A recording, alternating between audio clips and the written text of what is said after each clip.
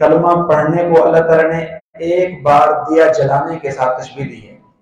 ज़ुबान से एक बार कलमा पढ़ने को एक बार दिया जलाने के साथ तशबीह दी है और फिर इसके बाद चूँकि पलाने की नहीं होती कि हम इस्लाम को मानने वाले हैं तो जब जिम्मेदारियों की बात आ जाती है तो फिर मुनाफिक खामोश हो जाता है तो उसको अल्लाह सुबह ने दिया बुझाने के साथ तशबीह दी है। ठीक हो गया। अल्लाह तला ने इसीलिए फरमाया है कि जो मुनाफिक होता है वो ऐसे ही है जिस तरह के वो पहले उसके सामने रोशनी हो और जब अमल करने की बारी है तो फ़ौरन रुक जाए। क्यों? इसलिए कि वो तारीकी में चला जाता है। लेकिन जो मोमिन होता है, उसके दिल में जो ईमान होता है, उसके दिल में रोशनी होती है, वो नमाज़ भी टाइम करता है सकात भी देता है और जो में आखिरत पर ईमान भी रखता है और उसके लिए सर्टिफिकेट है कि जो काफिर है, वो वादे काफिर है और ऐसा काफिर है कि वो कभी भी कुरान और सुन्नत के ऊपर ईमान नहीं ला लेकर आ सकता। इसलिए अल्लाह ताला ने उसके ऊपर मोहर का ज़िक्र किया कि खत्म अल्लाह अला कुलूबिहिम व अला समइहिम व अला अबसारिहिम रिशावतुन व लहुम अज़ाबुन अज़ीम। इसके बाद जो अगले दो रुकू है ना, इनमें अल्लाह ताला ने सबसे पहले अपनी इबादत का हुक्म दिया है कि लोगों, मेरी इबादत करो बस। और जिस कुरान करीम के अंदर इस अकीदे का ज़िक्र है, उसकी सदाकत का ज़िक्र किया वो सच्चा है। और अगर तुम सच्चा नहीं मानते तो उसके ऊपर चैलेंज का ज़िक्र किया कि इन कुंतुम फ़ी रैब नज़लना अला अब्दिना फतू भी सूरत मिस्ली एक सूरत लेकर आओ, मगर कोई लेकर ना आ सका। और फिर इसके बाद जो जो है वो इस को मानने वाले हैं, उनके लिए की खुशखबरी है। इसमें एक और मिसाल ज़िक्र की गई है, मच्छर की मिसाल, कि अल्लाह सुब्हानहू तआला है वो मच्छर की मिसाल को पेश करने से भी नहीं शर्मा, नहीं शर्माता, यानी हक बात को पेश करने से नहीं शर्माता, क्योंकि वो कहते थे कि छोटी छोटी चीज़ें ज़िक्र की जाती है भाई। अल्लाह ताला फरमाता है, फिर क्या है? है तो तुम्हें समझाने के लिए। और इसी तरीके से आगे अल्लाह ताला ने जो है वो ज़िक्र किया कि मैंने आदम को पैदा करने में फरिश्तों से मशवरा किया। इससे साबित होता है कि इंसान जिस कदर बड़ा हो जाए, जिस कदर बुरा हो जाए, उसे अपने साथ वालों से, अपने लोगों से, अपने भाइयों से, अपने बेटों से, अपनी बेटियों से, अपनी बीवी से मशवरा करना चाहिए। यानी कोई शख्स इस कैनात में कामिल नहीं, कामिल अल्लाह की है, मगर वो भी मशवरा दे रहा है। इसलिए नहीं कि उसे नतज का नहीं पता। इसलिए कि वो हमें सिखाना चाहता है कि लोगों, वो अम्र शुरा बेना मशवरा किया करो, वो शाबिर इसके बाद आदम के किस्से का ज़िक्र है। कि जिस तरह को आप सुनते रहते हैं। फिर इसके बाद बनी इसराइल का तस्करा हुआ। पूरे जो है वो तीन जो है वो वर्गों पर मुश्तमिल है। और उनके ऊपर नियामतों का तस्करा हुआ मन और सलवा का ज़िक्र हुआ। और इसी के जिमन में ही जिस भतीजे ने अपने चचे को कत्ल किया तो कत्ल की तलाश के लिए अल्लाह ने जो तरीका अपनाया, जो कि एक गाय की शक्ल में था कि गाय को जिबा करो, फिर उसको बोटी मारो, फिर बंदे को फिर वो बोल पड़ेगा कि मुझे किसने कत्ल किया है तो इस चीज़ का भी तस्करा मौजूद है। और उसमें ये भी सबक मौजूद है कि अल्लाह और उसके रसूल जब कह देना कि ये करो, फ़ौरन कर गुजरा करो। इसके ऊपर चूच रहा, चौके चुनाचे, और इसके ऊपर सवाल जवाब की नशिस्त कायम ना किया करो। अगर तुम करोगे भी सही तो वो तो अल्लाह है, वो और तुम्हें ज़्यादा फंसाता चला जाएगा। तो इसलिए अमल करना चाहिए, ना कि किसी भी हदीस के लिए और आयत के लिए। जवाब नहीं ढूंढना चाहिए और दस्तकश नहीं होना चाहिए, बल्कि अमल करना चाहिए। इसके में अल्लाह तला ने एक और चीज़ ज़िक्र की कि लोगों के दिल सख्त होते हैं। फिर साथ ही मिसाल पेश की कि सख्त होते हैं पत्थर की तरह। फिर साथ ही कह दिया कि पत्थर तो फिर भी मोम होते हैं, क्योंकि उससे चश्मे फूटते हैं, दिलों के अंदर ईमान की रोशनाई दाखिल नहीं होती इसके दर सख्त होते हैं। तो इसके बाद अल्लाह ताला ने जो बनी इसराइल थे, वो अपनी किताब, ये तो हमारी किताब है ना, हम सब बच्चे, बूढ़े, जवान और खातन अपनी किताब से बेहद मोहब्बत और प्यार करते हैं। अमल करने में चाहे स्वस्थ हो, मगर इससे मोहब्बत करने में जो जो है वो, जो मायार है ना, उसको बयान नहीं किया जा सकता, इस कदर मोहब्बत है। चाहे ज़ाहिर हो कोई शख्स, चाहे नशाई हो, चाहे जो मर्ज़ी हो, लेकिन इस किताब से प्यार करता है। और तो और इस किताब की जबर जेर हरकत को पेश करने की जसारत का और ज़रूरत का कर लेना जबर जेर पेश और नुकते को भी नहीं बदल सकता। कुछ भी नहीं कर सकता। और इसके अंदर तड़प और अफसोस होता है। अगर कोई शख्स बदले किसी जानबूझकर कि इंसान उसके कत्ल पे, के दर पे हो जाता है। मगर किस कदर खबीस और फितरत थे वो लोग जो बनी इसराइल थे, वो अपनी ही किताबों को अपने ही हाथों के साथ तब्दील कर दिया करते अपनी किताब को, अपनी और फिर इसके बाद अल्लाह सुबहान ने थोड़ा सा बस हज़रत ईसा सलाम का तस्करा दिया और आखिर में जो है वो आखिरी जो पाओ से भी कबल दो रखो अल्लाह तला ने फरिश्तों के एहतराम का ज़िक्र किया। एक अल्लाह तला का एहतराम, रसूलों का एहतराम, समझ आती है, किताबों का एहतराम, अपनी तालीम का एहतराम। और इसी तरीके से अपने मसायल का और दीन का एहतराम, अपने इकराम और अपने उलमा का एहतराम, आम लोगों का एहतराम, फरिश्तों का भी एहतराम जो जबरील अमीन रसूल पाक के ऊपर लेकर आते थे ना भाई, ये यहूदी लोग हज़रत जबरील अमीन को गालियाँ निकाला करते थे। तो अल्लाह ताला ने फरमाया, किसी भी फरिश्ते को गाली निकालना, वो गाली निकालना नहीं है, बल्कि वो कुफ्र है। इसी तरह किसी भी रसूल को गाली निकालना, वो गाली नहीं होती, जिसको कहते हैं उसने गाली निकाल दी नहीं। वो कुफ्र होता है। इसलिए इंसान दायरा इस्लाम से खारिज हो जाता है और अगर वो काफिर है तो उसके कुफर में इजाफा हो जाता है। अल्लाह तला ने जादू का ज़िक्र किया। जादू सीखना तो किराम ने इसको कुफर नहीं कहा। लेकिन कुफर का वसीला ज़रूर है। सीखता है तो करता है। ना अगर सीखेगा नहीं तो करेगा कैसे? तो जादू कुफर है, जादू जादू की हकीकत है और जादू वाकई का असर भी करता है और दुनिया के लोगों के ऊपर इसने असर भी किया। और बुखारी शरीफ की रिवायत में मौजूद है कि रसूल पाक के ऊपर क्योंकि पता है ना आपको, अगर कोई शख्स तिजारत में, मकाम में, मरतबे में, सियासत में किसी भी हवाले से ऊंचाई की तरफ़ चढ़ता है तो फिर लोग हासिदीन उसके साथ हसद करते हैं। और उसे ऊंचाई से नीचा करने के लिए हर हरबा इस्तेमाल करने की कोशिश करते हैं। हत्या के जादू का जो हरबा है ना समझते हैं कि ये सबसे मज़बूत तरीन हरबा है और फिर मफी हरबा है। समझ नहीं लगती कि किसने किया है। तो जीवका सामी ये भी हरबा इस्तेमाल करने की कोशिश करते हैं और ये हरबा उनके ऊपर इस्तेमाल किया जाता है जो पावरफुल लोग हों। अगर उनको पता चल जाए कि फुलान शख्स ने मेरे खिलाफ हज़रत की है तो डर होता है, खौफ होता है। तो चूँकि ये हरबा है ही मख्फी तो इसका इस्तेमाल किया जाता है ताकि करने वाले का पता ही और काम क्या हो जाए और हमारा भी पता ना जाए और ये हक है। लेकिन ये हक का लफ्ज का मतलब ये नहीं है कि ये हक है, नहीं। हक का मतलब ये है कि जादू वाक्यतन है। ये मतलब है। लेकिन है ये कुफर। वाक्यतन जादू है।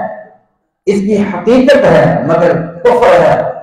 जो शख्स जादूगर के पास जाता है, मसला हल करवाने के लिए, वो मुशरक बन जाता है। जो जादू के सेटअप को इख्तियार करता है अल्लाह की बराबरी करता है, इसलिए वो काफिर बन जाता है। जिस तरह से कहा रब्बुकुम आला तो जादूगर ये तो नहीं कहता रब्बुकुम आला। मगर हर बार वही इस्तेमाल करने की कोशिश करता है जो अल्लाह के पास पावर है, उनका इजहार करने की कोशिश करता है कि जिस तरह अल्लाह ताला मख्फी तौर पे, गैबी तौर पे हर शख्स को या किसी भी शख्स को तकलीफ़ देने पर कादिर और कदीर है जादूगर भी इस चीज़ का इजहार करता है कि मैं भी मख्फी तौर पे किसी को तकलीफ़ देने पर कुदरत रखता हूँ, इसलिए वो काफिर बन जाता है, ये फलसफा है। इसके बाद अल्लाह ने एक मशहूर मसले का ज़िक्र किया है ये कुरान करीम है ये कुरान करीम। और आपको पता है ये कुरान करीम हमारी रूहानी अमराज का इलाज है और हमारी रूहानी बीमारियों की दवा है। ऐसे ही है कि नहीं? और अल्लाह सुबहान हकीम है। तो जो जो जो है दानशमंद हकीम होता है, तबीब होता है, वो मुख्तलिफ़ जो बीमारियाँ बंदे को लगी होती है, एक छोटी, एक बड़ी, फिर उससे बड़ी। वो सबसे पहले बड़ी का इलाज नहीं करता, बल्कि छोटी बीमारियों का इलाज करता है और दर्जा, बदर्जा दर्जा, बदर्जा आखिर तक पहुँच जाता है और इंसान ठीक हो जाता है। तो अल्लाह सुबहान ने वही तरीक़ाकार अपनाया है कि जो मुशरकिन मक्का थे दर्जा बदर्जा उनकी बीमारियों को खत्म करते गए, खत्म करते गए। जो पहले दवाई थी, उसको मनसूख कर दिया, जो आगे वाली दवाई थी, वो उनके ऊपर अप्लाई कर दी और यही तरीक़ाकार था। तो जब ऐसा होगा यहूदियों ने देखा, उन्होंने कहा कि ये क्या तरीका है भाई? तुम्हारा खुदा पहले ये हुक्म लेकर आता है, फिर इसके बाद दूसरा हुक्म नाफिज कर देता है। तो ये क्या प्रॉब्लम है? क्या पहले वाला जो हुक्म था, वो गलत था? तो अल्लाह ताला ने फरमाया सबसे पहला इसका जवाब यह है कि मैं कादिर कदीर हूँ जो मर्ज़ी करो मुझसे पूछने वाला कौन है?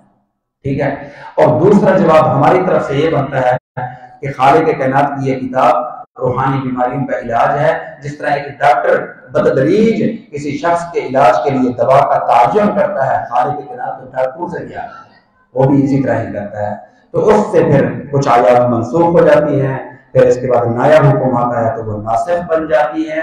तो अल्लाह ने फरमाया मान सब मिन आयतिन और मुनसिहा नअति बिखैर मिनहा और मिथलिहा अलम तअलम अन अल्लाह अला कुल्ली शैइन कदीर मैं कादिर कदीर हूँ लेकिन जो हुक्म लेकर आता हूँ तुम्हारे लिए बेहतर होता है अगर पहले वाला ही हुक्म जारी रहे तो फिर उसका कोई फ़ायदा नहीं क्योंकि आपके में बीमारी नहीं तो बीमारी नहीं तो उसका इलाज खाम खाम जारी रखूँ तो फ़ायदा क्या हुआ तो जो बीमारी है मैं उसका इलाज जारी करता हूँ ताकि वो बीमारी दूर हो जाए इसके बाद अल्लाह ने एक और चीज़ का ज़िक्र किया कि मन अजलम मिम्मन मना मसाजिद अल्लाह।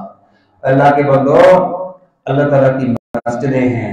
अल्लाह ताला ने कुछ मुतवल्ली बनाया होते हैं, इसलिए नहीं कि लोगों को बाहर निकाले। इसलिए कि लोगों को जोड़कर अल्लाह की मस्जिदों में लेकर आए उनकी ज़िम्मेदारी होती है, मुतवल्ली का माना ही जिम्मेदार।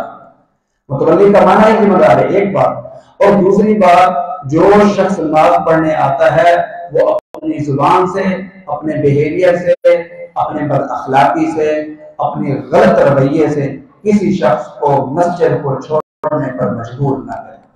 अगर कोई शख्स इस तरह का रवैया अपनाता है तो उससे बढ़ के इसके नाम में कोई इजाज़त नहीं है कि एक शख्स अल्लाह का ज़िक्र करने के लिए आया तो बाहर निकाल रहे मन असलम हो मिन मसाजिद अल्लाह उसको खराब करने की कोशिश करता है। इसी तरीके से अल्लाह ने आगे, आखिर में हज़रत इब्राहिम सलाम का तस्कर किया और इसमें जो सबसे अहम बात है, वो है अंतरा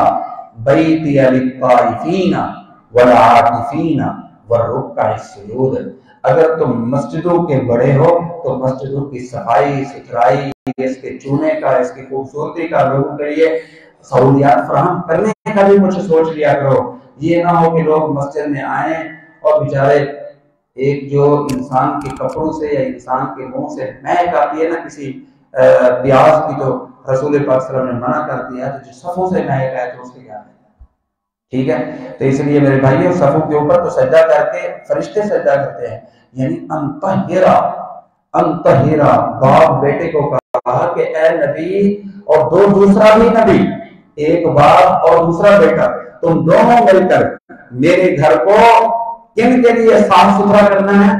तवाफ करने वालों के लिए इतकाफ बैठने वालों के लिए, रकू करने वालों के लिए और सजदा करने वालों के लिए। और फिर इसके साथ साथ एक और दुआ ये करनी चाहिए, जो कि इब्राहिम की सुनत है अपनी औलाद की दीनदारी की दुआ करनी चाहिए और इसमें ज़िक्र है।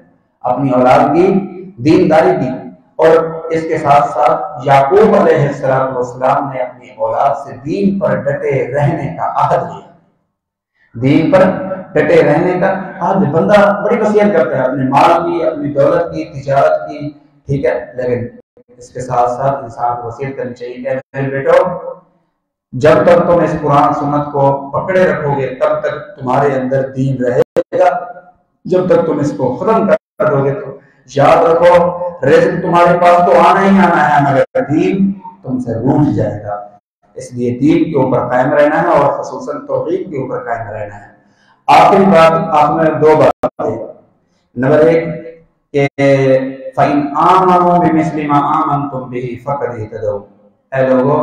इस तरह का ईमान लेकर आओ, जिस तरह का सहाबा ईमान लेकर आए हैं। मकसद ये है, हम कहते हैं सलफ सालिहीन क्या मतलब का का मतलब गुजरे हुए लोग। सालिहीन का मतलब नेक लोग, क्योंकि सलफ में कुछ ऐसे भी लोग थे, गलत थे, कुछ ऐसे भी लोग थे जो बहुत अच्छे थे, अजीम थे। तो जो सावे नाम है ना, वो सबसे ज़्यादा अजीम है। ईमान का ज़िक्र हुआ है कि ईमान लेकर आओ। भी ईमान लेकर आते हैं तो कैसे लेकर आए? अल्लाह तआला ने फरमाया, ईमान लेकर आना है तो फिर सहाबा की ज़िंदगी को देखो। जिस तरह का वो ईमान लेकर आए हैं, उस तरह का। अगर उनके ईमान में सबो शतम चोरी, डकैती और इसके अलावा दीगर गुनाह नहीं, और सहाबा के ऊपर सबो शतम नहीं, सहाबा का एहतराम और है तो अखड़ मिजाज तुम्हारे ईमान में अखड़ मिजाज नहीं होनी चाहिए। उनके ईमान में था तो तुम्हारे ईमान में भी किरदार होना चाहिए। तो तब जाके ईमान कबूल होता है। आप ईमान लेकर आए, सो आए। मगर जब आप साहबा को ही गलोच निकालते हैं तो फिर इस आयत के ऊपर अमल कैसे कर सकते हैं? क्यों? इसलिए कि जिसको आप गाली निकालते हैं, वो आप पर मुबतला और मुबतला तो नहीं बन सकता। आप पर मुबतला और वो ही बन सकता है, जिसके बारे में आपके दिल में इज़्ज़त हो, एहतराम हो, प्यार हो, मोहब्बत हो, उल्फत हो, ईमान हो तो हम आखिर में यही कहते हैं कि सहाबा किराम रिजवान हमारे मुर्तदा हैं, नबी रहमत के बाद। नबी रहमत की तालीमात के ऊपर अमल करने में और कुरान के ऊपर अमल करने में हमारे मुतदा और मुतदा सहाबा हैं क्योंकि उन्होंने नबी को देख देख कर अपने ईमान को सुलझाया है। और जो उनका ईमान है, वो नबी रहमत की तालीमात से और उनकी पैरवी से सुलझा हुआ है। और वो हमारे लिए ईमान ही नहीं, बल्कि ईमानियात को ठीक करने का एक आईना है। और जो सही में देख देख कर हम अपने ईमान के अंदर जो भी खराबियाँ हैं, उनको ठीक करने की कोशिश करें। ना तो उन्हीं आइनों को तोड़ने लग जाए। आइनों को ही ना तोड़े। जब हम आइनों को तोड़ेंगे तो है कैसे देखेंगे? उन आइनों को तोड़ना है साफ़ और शफाफ करना है। गर्द गुबार को हटाना है, ताकि हमारा चेहरा ईमान ठीक ठाक नज़र आए और उसमें जो भी ऐब हो, उसको हम खत्म कर दे, उनके ईमान को देख देख कर। आखिर में यही है कि सिर्फ़ अल्लाह वमन अहसन मिनल्लाहि सिबगा व नहनु लहु आबिदून अल्लाह के रंग को अपनाओ अब अल्लाह का रंग क्या है कोई काला सफ़ेद सुर्ख पीला नहीं अल्लाह का रंग है अल्लाह पर ईमान ईमानियात नमाज़ रोजा हज जक़ात अखलाक किरदार हलाल खाना हलाल को अपनाना ये अल्लाह का रंग है और अल्लाह के इस रंग से हट कर कोई कैलाम में बेहतर रंग है ही नहीं। वो अकूल को लिहाजा वसफुल्लाह क्वेश्चन पूछा किसी अगर घर में फजर की सुनते हैं अदा करके मस्जिद में आए तो पढ़े तो मस्जिद की रकात पढ़ी जाएगी पढ़ सकता है पढ़े पढ़े। लेकिन अगर पढ़ी नहीं है रसूल पाक सल्लल्लाहु अलैहि वसल्लम जो करते थे ना तो रसूल पाक सल्लल्लाहु अलैहि वसल्लम घर से पढ़ कर आते थे और फ़ौरन मसले पे आ जाते थे। फ़ौरन फ़ौरन मसले पे आ जाते थे, अगर आपने घर में, अगर ना भी पढ़े ना तो कोई हर्ज नहीं। मगर ताकीद ज़रूर है, रसूल पाक ने फरमाया है जो भी जिस वक्त भी मस्जिद में आए, ना बैठे जब तक के दो रखते ना पढ़े ना बैठे ना बैठे। अब इसको किस खाते में डालेंगे? फ़र्ज़ हम नहीं कहते बाद फ़र्ज़ कहते हैं। हम कहते हैं, फ़र्ज़ यही है, जो पाँच फ़र्ज़ है, यही फ़र्ज़ है। रसूल ने तहज्जुद को अपनाया और उसके ऊपर हमेशा की इख्तियार की हमेशा की इख्तियार करने से फ़र्ज़ नहीं बन गया। वितर के ऊपर हमेशा की था कि सफ़र में भी हमेशा की हमेशा की इख्तियार करने से फ़र्ज़ नहीं बन गया।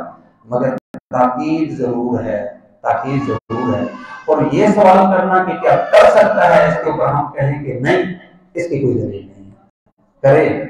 हाँ अगर वो कहता है कि उधर भी पढ़नी है, इधर भी पढ़नी है तो बेहतर है, उधर जाके पढ़ तो ठीक है। अगर आपके पास वक्त नहीं आप आप घर में बैठे रहते हैं, आपको पता है कि मैं एक मिनट में पहुँच जाऊँगा ज़िक्र कर रहा हूँ तो आप आते हैं तो आपके लिए टाइम नहीं होता तो आप फ़ौरन साथ में शामिल हो जाए। ये ठीक है।